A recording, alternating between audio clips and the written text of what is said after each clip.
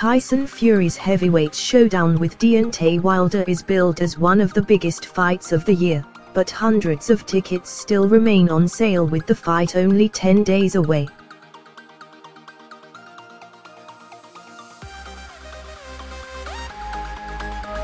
Fury challenges Wilder for the WBC World Heavyweight title at the Staples Center in Los Angeles on December the 1st, with the winner in line for a mammoth showdown against Anthony Joshua in the new year.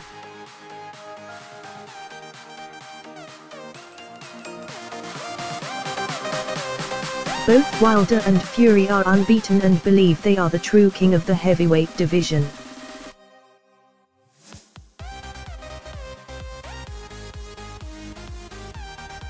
But on Wednesday fans could still grab tickets for their eagerly anticipated fight for as little as $77,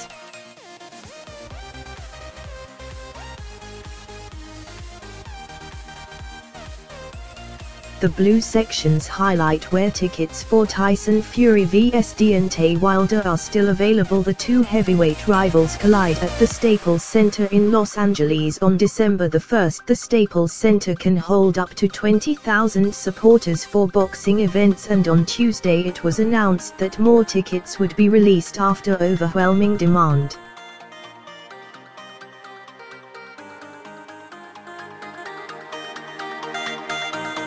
The newly released tickets are priced at $125, £97, and $75, £60, and many sections of the arena are still unfilled.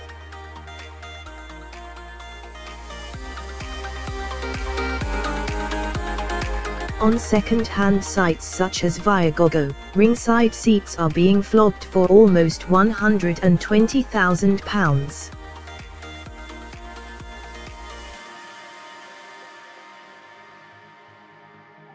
Yet supporters can still secure tickets from the back of the third tier all the way down to outer ringside for between $77 to $1,553, £1,212 via the Staples Center website.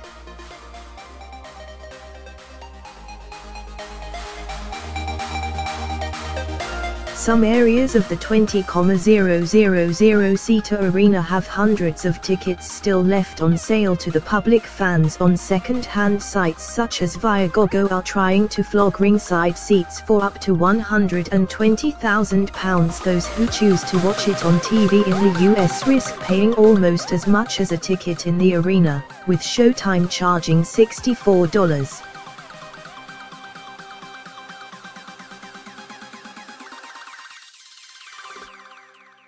99, 50 pounds, for standard definition and some providers reportedly asking for a whopping $74.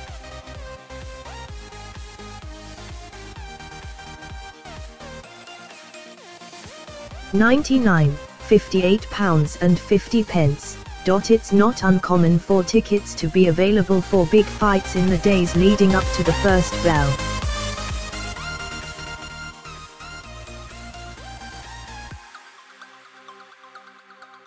There were empty seats for AJ's recent clash with Alexander Povetkin at Wembley, while Conor McGregor and Floyd Mayweather were still trying to flog tickets for their historic crossover bout in the hours before the fight.